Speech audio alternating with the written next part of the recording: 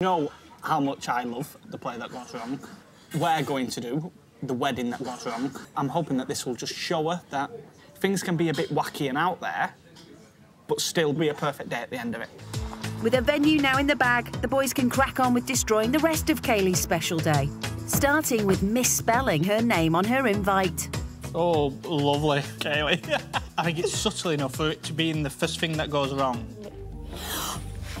Stephen's here with flowers. Special delivery for Kaylee. There you go. Oh, thank you. And there is your wedding invitation. Bye-bye. Bye-bye. Bye. It's getting real. Oh, oh that's real. nice. It's a nice car. Spot my name it's wrong. Like, actually spelled your name wrong.